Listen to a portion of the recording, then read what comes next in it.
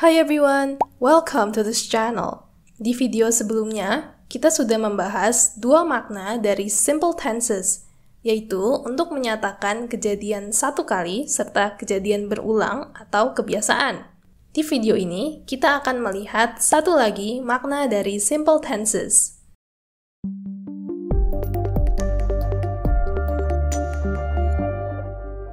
Selain menyatakan kejadian satu kali dan kejadian berulang atau kebiasaan, aspek simple juga digunakan untuk menyatakan kondisi atau states.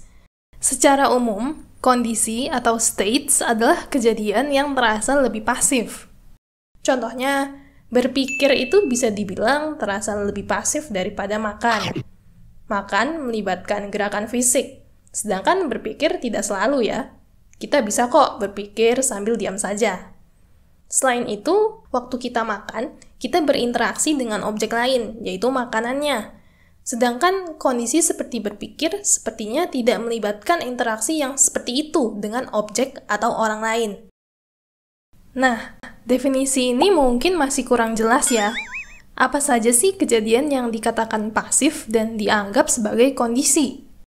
Dalam bahasa Inggris, ada beberapa kategori kejadian atau aktivitas yang termasuk dalam kondisi atau states.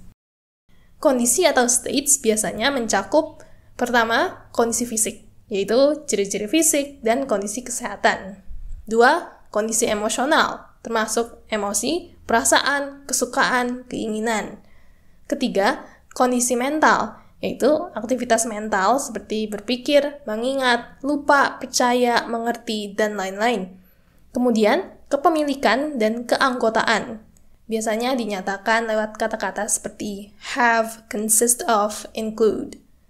Kemudian ada kondisi lainnya, seperti watak atau sifat, kemudian status seperti pekerjaan, profesi, menikah atau lajang, dan kondisi yang diterima, dicerna, atau dirasa oleh panca indera kita, bisa dibilang kategori terakhir ini adalah kondisi yang lebih abstrak ya dari kondisi-kondisi lainnya. Kegunaan simple tenses yang ini memang bisa lumayan sulit untuk dipahami, jadi tidak apa-apa kalau terasa susah. Nah, sekarang mari kita gabung kegunaan aspek simple yang ini dengan elemen time. Past simple menyatakan kondisi yang terjadi di masa lalu. Present simple menyatakan kondisi yang terjadi di masa sekarang Future simple menyatakan kondisi yang akan terjadi di masa depan. Mari kita langsung lihat contoh kalimat supaya lebih jelas. Contoh pertama, Donna is tall. Kalimat ini adalah kalimat present simple. Terlihat dari bentuk kata kerjanya is. Kalimat ini artinya Donna itu tinggi. Berarti kalimatnya menyatakan kondisi fisik, kita tidak tahu ya apakah si Dona ini memang tinggi dari dulu. Kalimat present simple ini hanya memberitahu kita bahwa sekarang Dona itu tinggi. Lalu di sini kita lihat bahwa kata kerjanya adalah is, yaitu salah satu bentuk dari to be. Kalian bisa ingat-ingat nih, biasanya kalimat simple yang menyatakan kondisi itu menggunakan to be sebagai kata kerjanya. Contoh kedua, the cake will taste sweet. Kalimat ini adalah kalimat future simple, terlihat dari bentuk kata kerjanya will taste. Kalimat ini artinya kuenya akan terasa manis. Manis itu kan sesuatu yang bisa kita rasakan lewat indera pengecap ya. Berarti kalimat ini menyatakan kondisi yang diterima lewat panca indera kita. Karena ini adalah kalimat future simple, berarti sekarang kuenya belum terasa manis.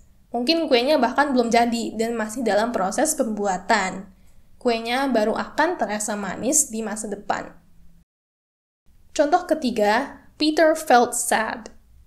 Kalimat ini adalah kalimat past simple, terlihat dari bentuk kata kerjanya felt. Kalimat ini artinya Peter merasa sedih di masa lalu. Berarti, kalimat ini berbicara tentang kondisi emosional. Karena ini adalah kalimat past simple, berarti belum tentu Peter masih merasa sedih sekarang. Kalimat ini hanya memberitahu kita bahwa di suatu titik di masa lalu, Peter merasa sedih. Contoh keempat, they believed that aliens were real.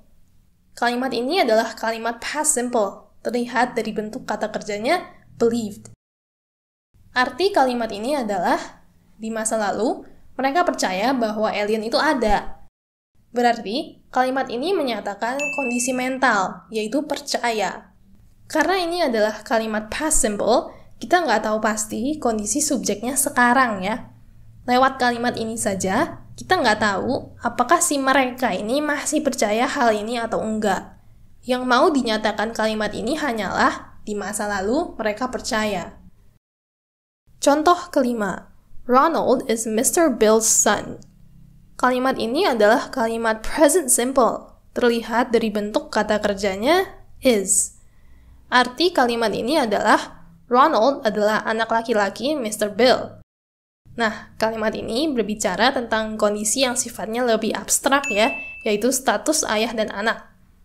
Meskipun ini present simple, kita bisa bilang bahwa di masa lalu dan di masa depan pun Ronald tetap adalah anaknya Mr. Bill. Kondisi ini tetap benar dan tetap sama. Kenapa? Karena begitulah kenyataannya ya. Di dunia nyata, kita tahu bahwa status anak itu tidak berubah. Kalau kita anak seseorang, selamanya kita anak orang itu kecuali kalau kita membicarakan adopsi. Contoh keenam, one group will consist of five students. Kalimat ini adalah kalimat future simple, terlihat dari bentuk kata kerjanya will consist. Kalimat ini berarti satu kelompok akan terdiri dari lima murid. Berarti kalimat ini berbicara tentang kondisi keanggotaan. Karena ini adalah kalimat future simple, Berarti kondisi ini baru akan terjadi di masa depan. Sekarang mungkin kelompoknya belum terbentuk.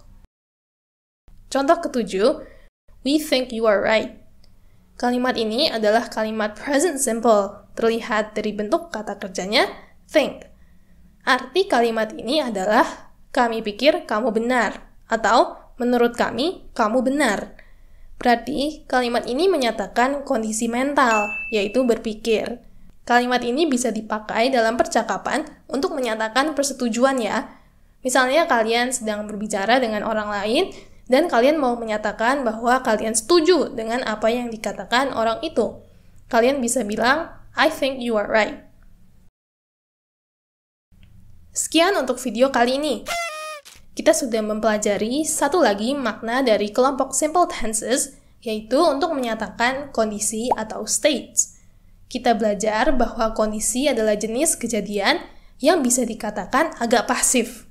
Kondisi meliputi hal-hal seperti kondisi fisik, emosional, mental, kepemilikan, dan keanggotaan, serta kondisi lainnya yang sifatnya lebih abstrak. Terima kasih dan semoga bermanfaat.